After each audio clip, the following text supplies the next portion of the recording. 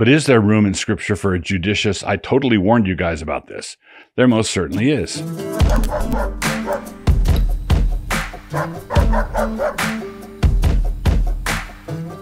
In the month of November, recall, it is imperative that I write slashing and critical prose, and that I do so without qualification.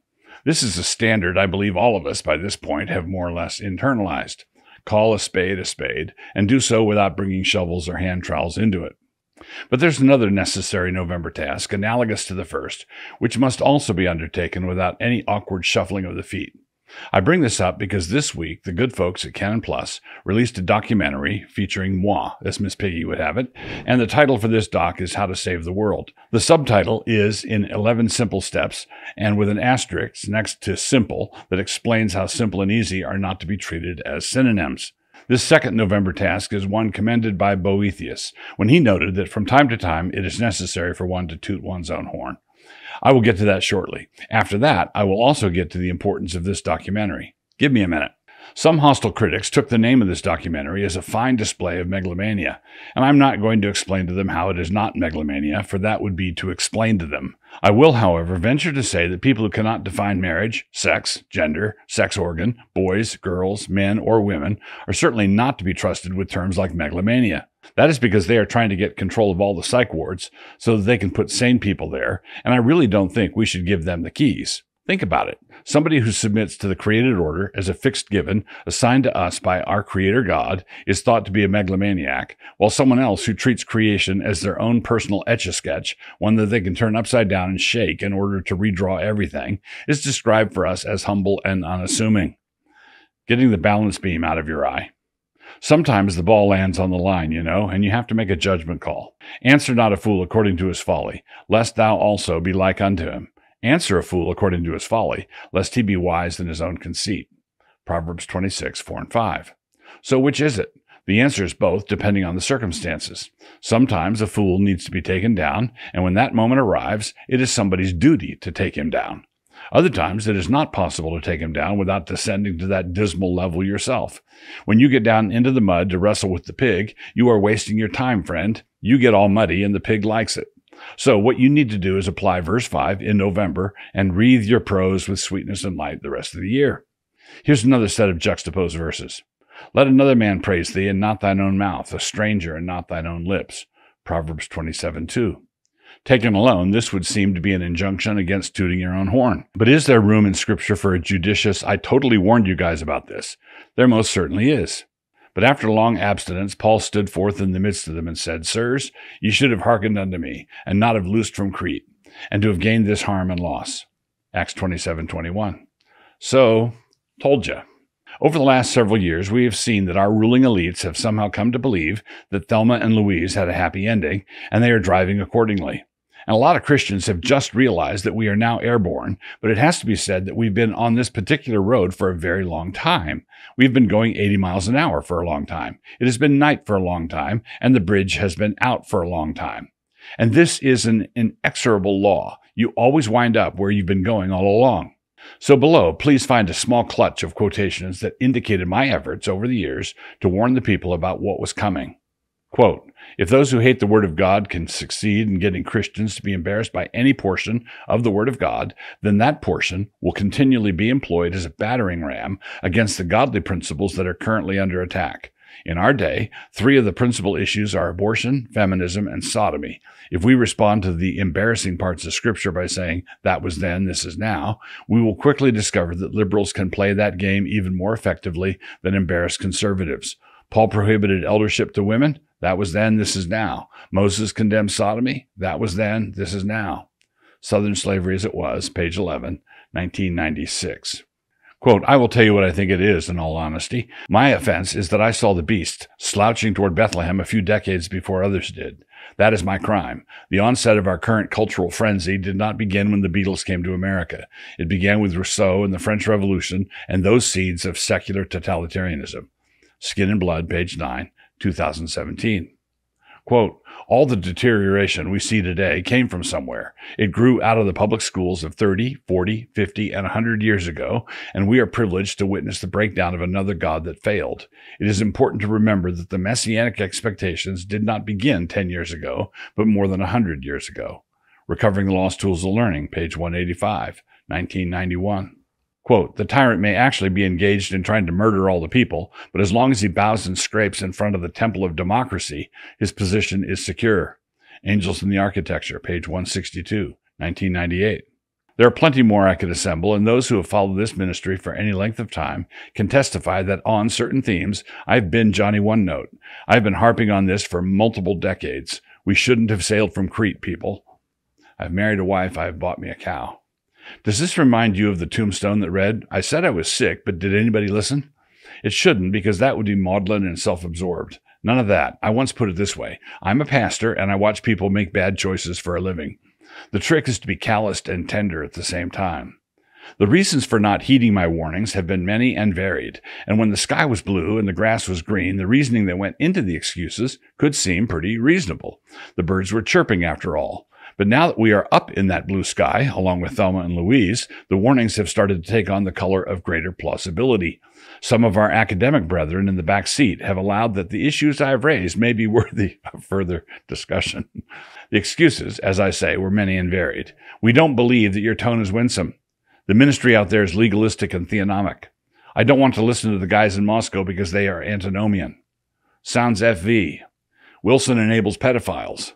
When I read what he writes, sometimes I snort and laugh. My wife shoots me a warning glance, and then I feel guilty. I saw some memes once that had scary quotes on them in big block letters over top of a black and white picture. Don't forget how he talks about slavery by quoting the Bible. Wilson is against women voting and would have opposed the 19th Amendment. We would rather write about Benedict options in the abstract than acknowledge those who exercise their option in the concrete. We've heard pretty much everything. Apparently, I'm buying up all of downtown Moscow. But the only thing downtown that I actually own is my truck, and that is only parked downtown during the day. But the best cautionary admonition we ever heard was the warning that said people shouldn't join our cult because we make everyone make their own toothbrushes. If you want to look up our group in a dictionary of cults, it is called Presbyterian, the kind that believes the Bible, not the other kind, not the Lesbyterians. This whole approach has depended on a mode of argumentation that resembles throwing a platter of spaghetti against the wall and thinking that if more than two of the noodles stick, you have a right to declare your accusations entirely vindicated. So before the great unraveling of the last few years came upon us, the reasons and excuses all served their purpose. They provided a sane and respectable and balanced and winsome and proportioned and engaging and pleasant set of excuses for kicking the can of hard consequences down the road of an eventual final reckoning. And Hezekiah said, Very good, there will be peace and truth in my time at least. Isaiah 39, 8. And incidentally, by final reckoning, I am referring to the kind of day when the ravens of the air gather to feast on the flesh of kings and great generals. It's all fun and games until the ravens start circling. Then said Zebul unto him, Where is now thy mouth? Judges 9:38. So here's something else I said upon a time. Quote, in these times, let us remember the stages that our evangelical leaders have brought us through. One, there will not be any need to fight. Two, there may come a time when it is necessary to fight. Three, it is too early to fight. Four, it is too late to fight. This is a post Christian era. Me on Twitter last year. So back to the documentary. So earlier this year, I released a little book entitled Gashmu Saith It. The subtitle for that one was How to Build Christian Communities That Save the World. And one of the things you do to help save the world, if one critic within my family is to be believed, is that you don't give your books any inside baseball titles like that.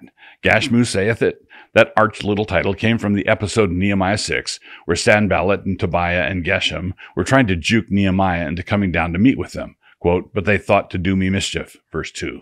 Nehemiah refused to go four times, and so the fifth time Sanballat sent a servant with a letter that ominously warned, among other things, that it is, quote, reported among the heathen, and Gashmu saith it, that thou and the Jews think to rebel. Verse 6. Whoa, Gashmu saith it. Sanballat was bringing in the heavy artillery. This Gashmu was apparently quite an important personage, now utterly lost in the thickets of unrecorded history, in the deep ravine next to the highway, down there with the beer cans and the bent bicycle tires. We all know who Nehemiah is, but who the heck is Gashmu? And yet, how many modern Christians scramble obediently back to their assigned places at the mere hint that somebody might bring in one of the modern Gashmus? When Sanballat says, come here, these days, our modern Nehemiah's hop too. Shame the city wall didn't get built in time. Shame everything fell into disrepair again. We could have had this whole thing done if those Moscow guys working over by the fish gate hadn't been using satire. Yeah, they got their part of the wall done, but we were pretty discouraged after they hurt our feelings so bad.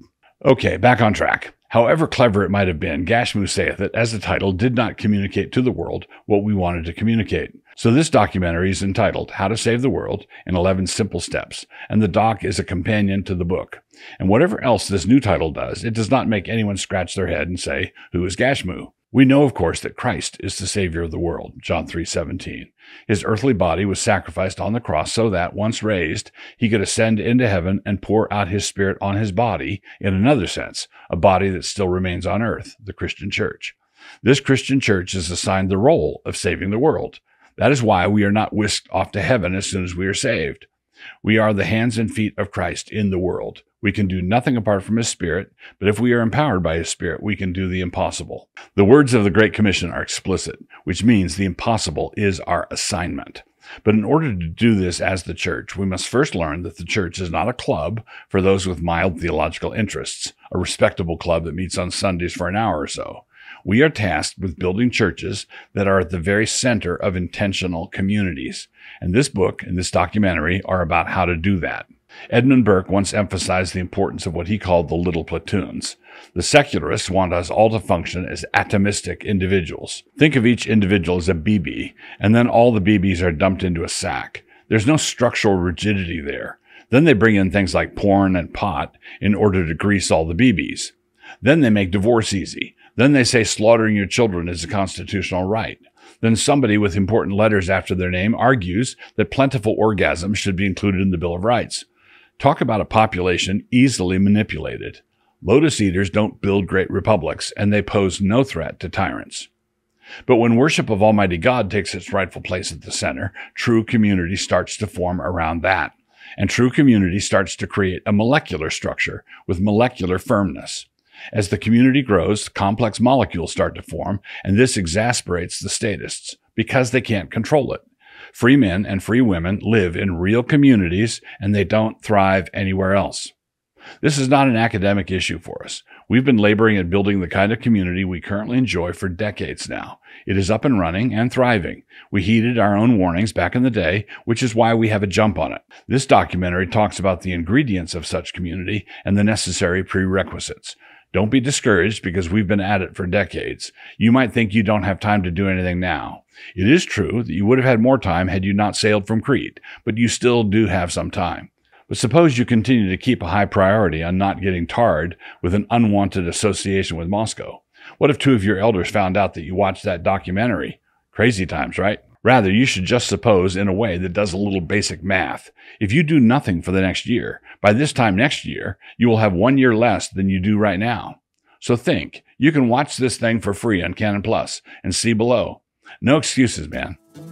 A big part of what we do here in November is that we give stuff away, as in for free, and this month we've given away tens of thousands of books already. This helps offset the impression that our refusal to qualify assertions during November proceeds from a churlish heart. Rather, it comes from a heart brimming over with generosity and open handedness. So, at the bottom of every NQN post, look for the current offers, whatever they might be this week. Please note that these are different from weeks one, two, and three. I want to exhort you to take advantage of these giveaways. We have already busted all previous records for free books going out the door, numbering in the tens of thousands, actually, and it would really be fun to lap ourselves a few more times. One, this week's links to free Kindles include three books, not just two. The first is The Lord's Service which is a great explanation of covenant renewal worship. The second is my book on building Christian community. It is called Gashmu Saith It, and the documentary that drops this week is a companion to this book. The third book is The Case for Classical Christian Education, in case you were wondering about this key element in our program. Two, also in November, anyone can get one free month of Canon Plus using the code NQNQ. This only works for new subscribers. Sorry, it doesn't work for existing or annual subscriptions. If you do this, you will be able to watch my new documentary over Thanksgiving and to do so for free. The name of the doc is How to Save the World in 11 Simple Steps. That would be simple steps, not easy steps. Critics should be sure to watch it in order to confirm their suspicions about the apparent megalomania of the title, but which will turn out to be a dud. Since disappointing my critics has become something of a hobby of mine, I do encourage critics to take advantage of this free offer. Three, and this November, current subscribers can give a year's subscription of Canon Plus for just 50 bucks. $49.99 instead of $95.88. That way you can get that pastor, friend, or enemy the Canon Plus content they've been so wishing for. Four, and in addition to all of that, from my quaint little Mablog shop, over the course of this coming week, November 21 through 25, you may obtain my collection of tweets that I've sent aforetime out into the void. That book is called No Artificial Tweeteners and is free below.